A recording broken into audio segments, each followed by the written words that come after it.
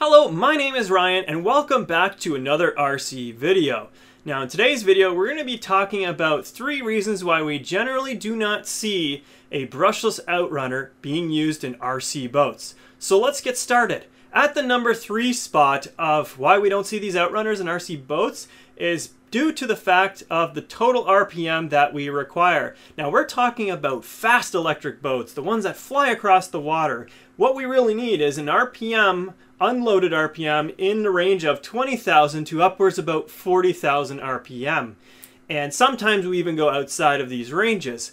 More commonly speaking, we want somewhere between 25 and 35,000 RPM. Now, typically, when we look at a brushless outrunner, they have very low KVs for the size of their motor. Because they don't have that higher KV that we're looking for at the size, the physical size of the motor, it's very hard to get a brushless outrunner in that range to deliver the power output that we need and to do that all reliably. That is why it comes in at the number three reason as to why we don't use brushless outrunners commonly in our RC boats. Now at the number two spot, and the number two spot is closely related to the number one spot, is the power output that we're looking for these outrunners. Typically at our power output level, we're looking for a lot of power being consumed. Typically in a 36 inch boat, you're looking at at least around the 2000 watt mark to get something quite quick.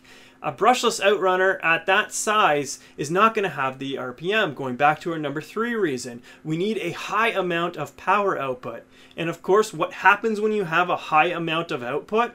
It kind of lends itself to the number one reason as to why we don't use these motors in RC boats. The number one reason why we don't use them is because of the fact that it's very difficult to cool these motors. Now imagine an RC boat. An RC boat is something that is completely enclosed. It is completely airtight. This way if our boat travels underwater for any reason, it's sealed, nothing inside gets wet. It will go and submarine underwater, it'll pop out, and everything is still dry inside. Well, what does that mean for our motor?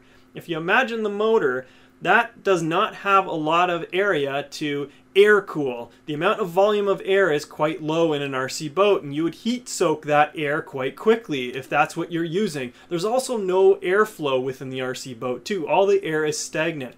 So what we use is we use water cooling. On a brushless in-runner, it's very easy to water cool this motor. All we need to do is bring water into the boat through a pickup somewhere located on the transom of the boat, bring that water up onto the motor, and we can actually drop the water directly on the case of that in-runner, cooling that motor.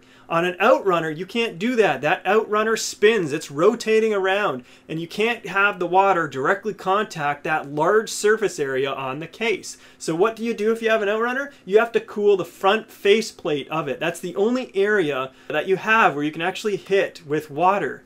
And the problem with that is, on the Outrunner, is that that front face is not where heat is generated. Heat is generated on the windings of the motor. The windings of an Outrunner occur and are existing in the core of the motor. That core of the motor, you have to get all that heat to transfer to that shaft of the motor, and from the shaft it's got to transfer into the front faceplate. That's a long transfer flow in order to get heat to transfer from the coils into that front faceplate, making it very difficult to cool. That's the no that's why it's the number one reason. Our in-runner, you directly apply the water on the outside, you can keep them very cool. You could see how all three reasons that we've talked about kind of sum out and add up to the same sort of thing. It's, you know, we need the RPM, we need the power output, and we need to make sure that we can cool them to make sure these motors stay nice and cool. A brushless RC boat, a fast electric RC boat, is probably one of the harshest things on batteries that you have in the RC market. We demand power like crazy when we run these boats. There's a high amount of power being dissipated through these motors, and we need to have that waste heat removed somehow to keep them nice and reliable. Those are the three reasons why we don't really see many brushless outrunners used in RC boats today. Well, where do you see a brushless outrunner being used in an RC boat? Well, generally speaking, you will see these brushless outrunners being used in relatively smaller boats, and there's a couple reasons why.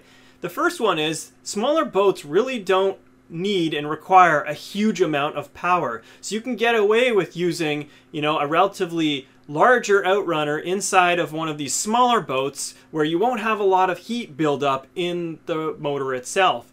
You'll more easily getting that brushless outrunner to a lower kV, where smaller in-runner motors produce a high kV, and you may not need that if you want to run a high voltage with a low kV count.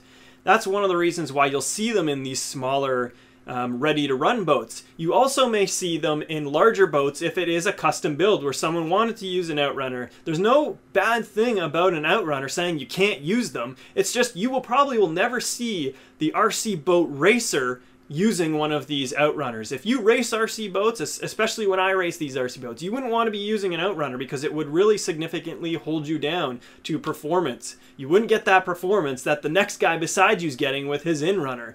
That's primarily why you see these outrunners being used in these custom builds where performance is not necessarily, you know, needing to be optimized and the of course the size of the boat is relatively small so you can get away with amount a lower amount of power. If you're upwards of 36, 40, 45 inches, you can't use an outrunner because you can't achieve that massive power output and cool it reliably and efficiently. That's why you may see them in smaller RC boats. Now if you like these videos, don't forget to hit that subscribe button, like the video, and I'll be able to see you in the next video. Thank you for watching.